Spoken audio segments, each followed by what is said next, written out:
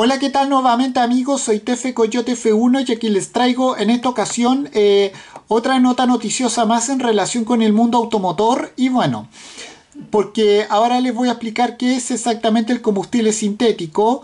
Eh, o combustible verde o e-fuel, como quieran decirle, cómo se produce y por qué es tan relevante. Y bueno, como sabemos, el carburante sintético o combustible sintético verde o e-fuel directamente se presenta como la gran solución de futuro para los coches. Y bueno, ahora vamos a ver el por qué. Y bueno, sin más que decir, vamos a hablar un poco de aquello. Bueno, como sabemos, los combustibles eh, los combustibles sintéticos o simplemente e-fuel son eh, carburantes que no son derivados del petróleo, presentan un balance neutro en CO2 y que a pesar de, continuar eh, en un proceso de creación completamente diferente a las eh, refinerías de crudo, pueden distinguirse, pueden hacer funcionar los motores de combustión interna de de nuestros automóviles de, manera igual de eficaz pero no contaminante y bueno.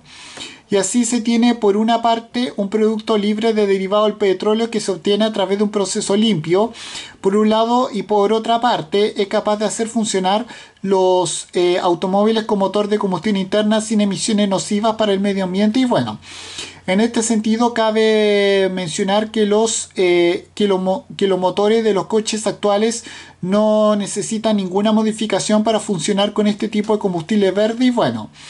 Como sabemos, el proceso de producción de este biocombustible es relativamente sencillo. Bueno, en primer lugar, se obtiene hidrógeno a partir de agua a través de electrólisis, un proceso que eh, necesita mucha energía, pero que se puede hacer a través de electricidad limpia obtenida al mismo tiempo de energía eólica o solar y bueno.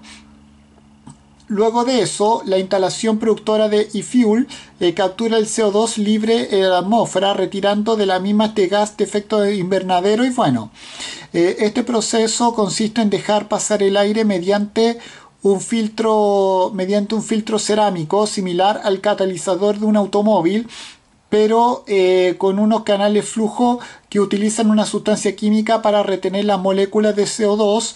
Una vez que cada uno de los espacios están llenos de CO2, el filtro se cierra y se calienta. El calor libera el CO2 que puede ser aspirado hacia un depósito y bueno. Por último, este CO2 se combina con el hidrógeno, se mezcla con el hidrógeno para obtener metanol, que es la base de este nuevo combustible sintético. Y bueno, en concreto, un litro de e-fuel requiere necesita el hidrógeno de 3 litros de agua de mar desalinizada y el eh, CO2 de más de 6.000 metros cúbicos de aire y bueno. Eh, hoy en día los motores de las, de las embarcaciones o los barcos, como quieran decirle, ya poseen una estructura que les permite funcionar con el metanol que extraen de este, proceso, de, este mismo proceso limpio. Bueno, pero existen más con un tratamiento especial con compuesto de carbono añadido con el paso final de la síntesis. Eh, se pasa de aquel metanol a gasolina sintética y bueno, un, producto que como su nombre lo indica es la, alternativa a los combustibles actuales y también se puede obtener gasóleo sintético y bueno, eh, así tanto para los coches de turismo convencionales como para las furgonetas, los clásicos o los eh, coches de competición. Eh, podrían desplazarse con este carburante en un periodo de tiempo bastante corto, eh, aprovechando aparte de eso toda la infraestructura existente eh, para la eh, distribución y almacenaje de los combustibles comunes y corrientes. Y bueno, sin duda se está ante una manera eficaz y eficiente de reducir la emisión del transporte mientras que la electrificación avanza.